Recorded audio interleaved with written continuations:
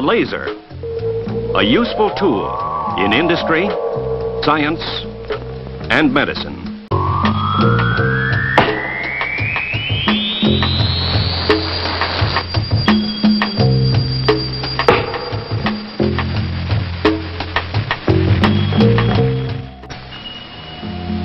The laser can be a dangerous instrument. It can be harmful to those who use it. But to those who use it safely, it is a tool which can benefit mankind.